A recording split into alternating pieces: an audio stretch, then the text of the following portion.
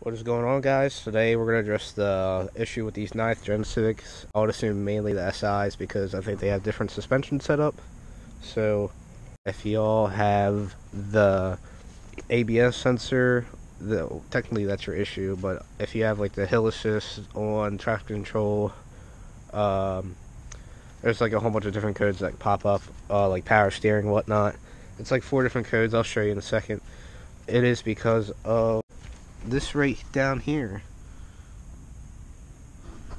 Like if you shine a light there's a there's a uh, uh, wire back there. You kind of see like if I shove you back in uh, that wire right there that wire that wire snapped clean off. So if any of you are having that issue uh, I'll show you what codes specifically pop up in a second. That is a reason why will happen on the driver or the passenger side. So uh, we'll go in here and I'll show you the codes in a minute. See, we have the ABS, the tire pressure sensor, uh, what's that, uh, traction control, TPMS, ABS, whatever that says, the hill start, and the power steering will also come on as well in like a minute.